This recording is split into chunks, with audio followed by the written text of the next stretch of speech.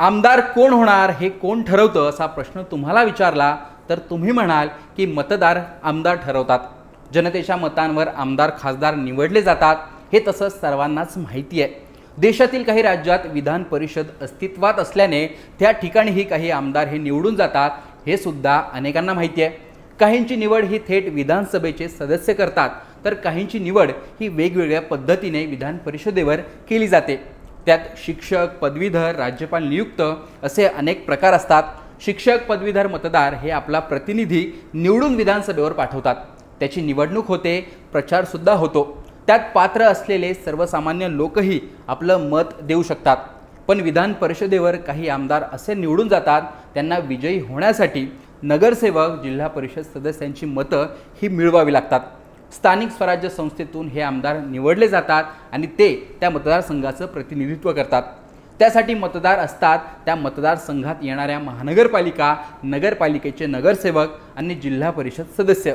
त्यामुळे सर्वात जास्त घोडेबाजार कोणत्या निवडणुकीत होत असेल तर तो स्थानिक स्वराज्य संस्थेतून निवडून जाणाऱ्या आमदारांच्या निवडणुकीत.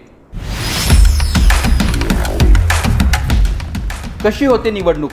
स्थानिक स्वराज्य संस्था म्हणजेच जिल्हा परिषद महानगरपालिका नगरपालिका यांचा मिळून एक मतदारसंघ तयार होतो. काही मतदारसंघ एका जिल्ह्यापुरते मर्यादित असतात तर काही ठिकाणी दोन किंवा तीन जिल्ह्यांचा मिळून एक मतदारसंघ तयार होतो. या मतदारसंघात येणाऱ्या जिल्हा परिषद महानगरपालिका आणि नगरपालिकेचे सदस्य हे या मतदारसंघाचे मतदार असतात.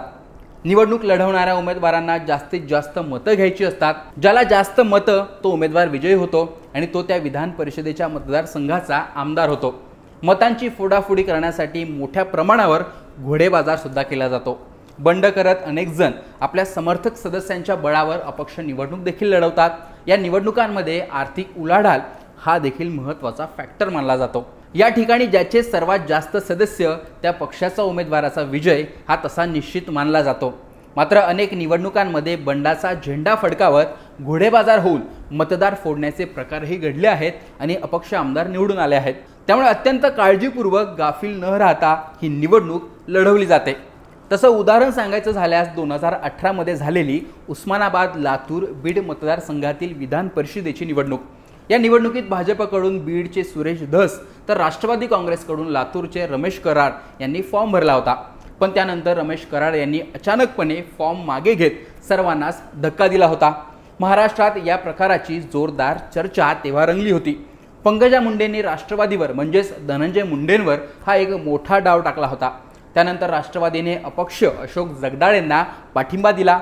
उस्मानाबाद बीड लातूर या जिल्ह्यात काँग्रेस आणि राष्ट्रवादीची पाचशे सत्तावीस मतं होती आणि सेना भाजपचे केवळ तीनशे सदुसष्ट मतदार होते.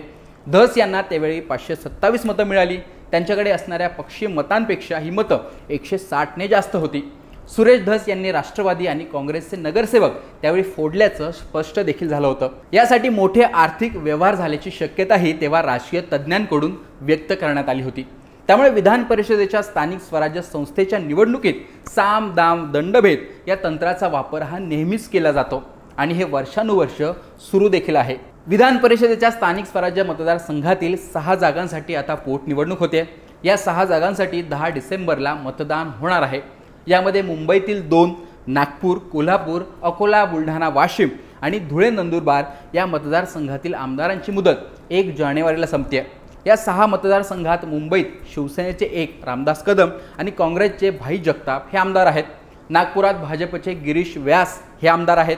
कोल्हापुरात काँग्रेसचे सतेज पाटील धुळे नंदुरबारमध्ये भाजपचे अंबरीश पटेल तर गोंदिया भंडारामध्ये शिवसेनेचे गोपीकिशन बजोरिया हे आमदार आहेत. सध्याची परिस्थिती पाहिली तर नागपूरमध्ये भाजपला जागा कायम राखण्यात अडचण येणार नाही असा अंदाज आहे. धुळे नंदुरबारमध्ये पक्ष कोणताही असला तरी अमरीश पटेल हे नेहमीच प्रभावी ठरतात. कोल्हापूरमध्ये काँग्रेसचे मंत्री असलेले सतेज पाटील हे पुन्हा बाजी मारतील अशी चिन्ह आहेत. मात्र त्यांना मोठी जुळवाजुळव करावी लागू शकते असा अंदाज आहे. अकोला बुलढाणा वाशिममध्ये मात्र शिवसेनेच्या गोपीकिशन बजोरिया यांच्यासमोर भाजपचं मोठं आव्हान असेल. आता ही निवडणूक महाविकास आघाडीतील पक्ष एकत्र लढतात की वेगवेगळी ते पाहणं देखील महत्त्वाचं असणार आहे. कारण तिन्ही पक्ष एकत्र आल्यास संख्याबळ वाढणार आहे आणि त्याचा थेट फायदा हा महाविकास आघाडीलाच म्हणजे त्यांच्या उमेदवारांनाच होऊ शकतो. असं असलं तरी स्थानिक समीकरणं पाहता घोडे बाजार आणि लक्ष्मीचं दर्शन मोठ्या प्रमाणात होण्याची शक्यता आहे. मुंबईमध्ये मात्र काँग्रेसची एक जागा कमी होऊन भाजपची जागा वाढण्याची शक्यता आहे. पक्षीय बलाबल समोर दिसत असलं तरी उमेदवारी कोणाला मिळते ते पाहणं देखील महत्त्वाचं आहे. प्रत्येकजण आपल्याला उमेदवारी मिळावी यासाठी प्रयत्नात आहे. कोल्हापूरसारख्या मतदारसंघात अनेक गट तट असल्याने त्या ठिकाणी उमेदवार कोण यावरच निवडणुकीचा निकाल लागेल. तर मुंबईमध्ये निकाल काय लागणार हे चित्र स्पष्टपणे दिसतंय. नंदुरबारमध्ये अमरीश पटेल नावाचा फॅक्टर चालत आलाय. तो यापुढेही चालत राहतो का ते पाहणं महत्त्वाचं असेल. तो पुन्हा चालतो का तेही महत्त्वाचं असणार आहे. नागपूर राखणं हे देवेंद्र फडणवीसांपुढे आव्हान असेल. त्यामुळे सहा जागांसाठी होणारी ही निवडणूक चुरशीची होणार हे मात्र नक्की. या सहा जागांच्या निवडणुकीबद्दल होणाऱ्या घोडेबाजाराबद्दल आणि एकूणच विधान परिषदेची पार्श्वभूमी पाहता होणारी ही निवडणूक यावर तुमची काही मतं असतील ती कमेंट बॉक्समध्ये नक्की सांगा. लोकमतचं यूट्यूब चॅनल नक्की सबस्क्राईब करा. हा व्हिडिओ जर तुम्ही फेसबुकवर पाहत असाल तर लोकमतच्या फेसबुक पेजला फॉलो करा लाईक करा हा व्हिडिओ नक्की शेअर करा. व्हिडिओ पाहिल्याबद्दल धन्यवाद.